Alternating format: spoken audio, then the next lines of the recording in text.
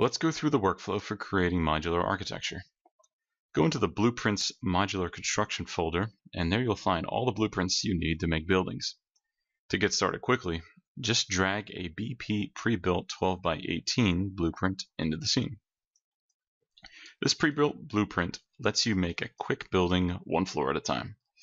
With a floor choice dropdown, you have a selection of floor configurations to use.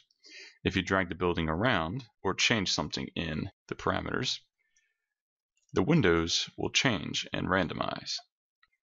I'll pick floor C. You have your choice of three trims, which are nicely normal mapped. There's trim A, there's B, let's C.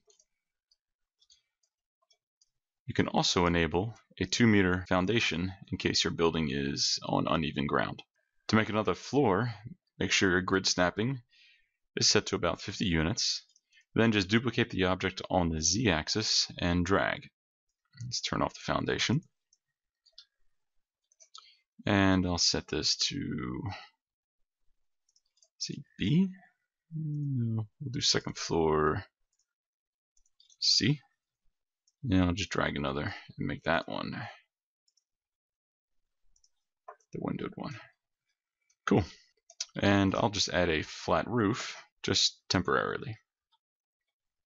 Now by default, a brick material is applied to all the architectural blueprints, but is there for you to override.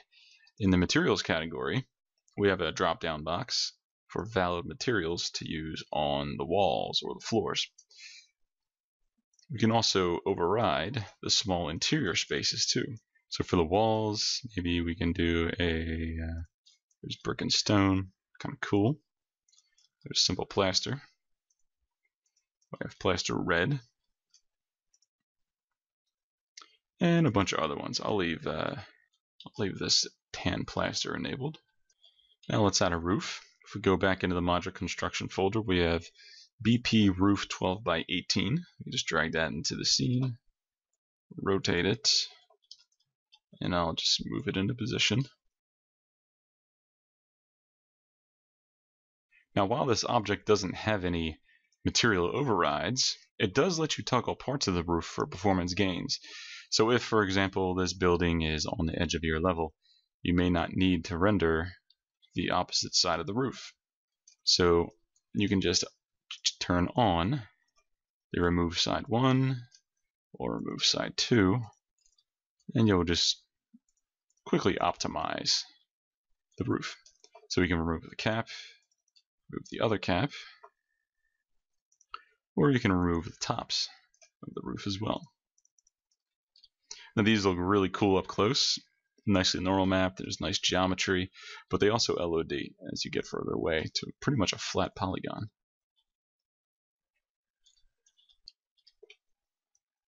Now of course, I don't like all my buildings to be the same rectangular shape, so the next level of granularity can be found using BP facades. Let's just drag one of those in.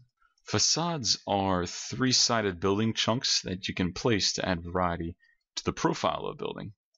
And just like a larger building, you get a selection of floors and trims to choose from. So for example, the way you would place these is you find the open end and just put it against the wall.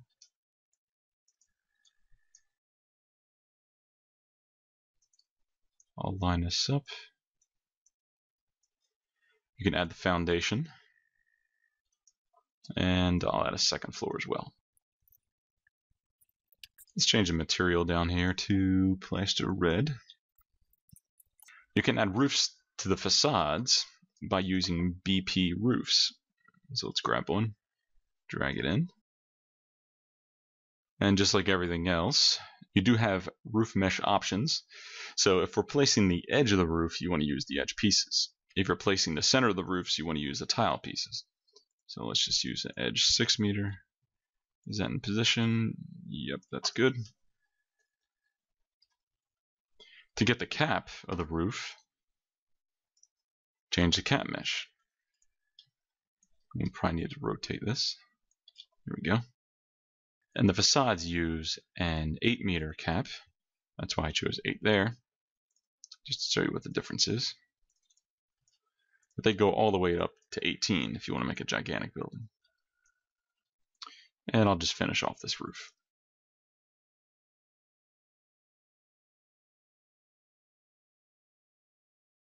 I'll quickly add some ground walkway objects using BP ground. So in this list, we have ground trims, which are great for putting around the bases of buildings where the wall meets the ground.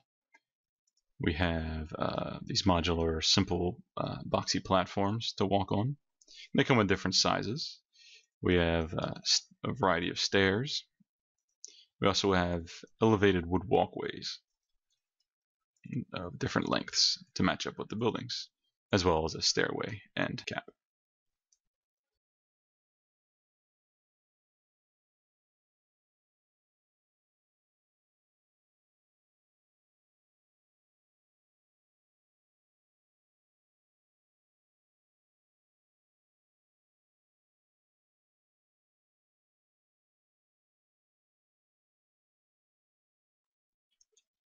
Now that we have the ground, let's make the facade a little more interesting. Add a BP arches blueprint. This blueprint contains all the possible arch and arch walkway configurations you can place on the map. You place these against buildings, uh, in between buildings. There's some that span uh, far across uh, paths. Uh, so for this one, let's do arch facade. These arches are meant to be placed against walls of buildings uh, above doors. So find the open end and just put it against the wall. Notice where the pivot is in relation to this object. It's on the ground, so the mesh height is already set up for you. Let's drag it and create a arch facade end. Let's align it with the end of the building. Just copy them down. We'll do another arch facade end, but this time we'll just turn on the flip arch facade end option. And there we go. Now we can get an even more granular configuration for architecture. Grab a BP modular walls object and drag it into the scene. This will allow you to place individual walls in the space for the most variety. The same sort of options apply. We have uh, plain walls, windowed walls, and second floor pieces and corners. And there are more here because you can just specify the length of the wall as well in two, four, or six unit variants. So I'll just go ahead and start placing some.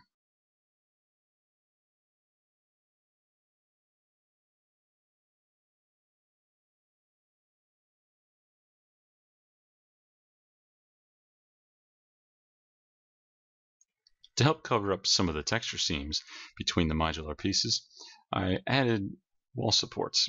So if we click on this wall here and we add wall support end, it'll just seal up that seam with a nice piece of wood. Now we can extend the use of those wall supports by using the wall support dropdown. Since we're using a 6 meter piece, let's use the support 6 meter object. So that's pretty cool. You can also do it to the second floor pieces as well. This uses a 6 meter second floor. And we'll turn on the wood support end there as well. BP Gate B, A, Door Old 2, and Door Old are all your doorway options for modular architecture. So let's drag a BP Gate B into the scene. And each one of those is uh, 200 units in width. So we'll just push it back there. And of course we have our choice of trim, foundation, and we have gate type. So this is the dual thin gate. We can also do a wide gate or a thin gate, which is a singular door. What's also cool is we can change the door rotation. So we can open them, close them, swing them. It's cool for decoration. And of course, material overrides. So I'm just going to finish up the rest of this wall here.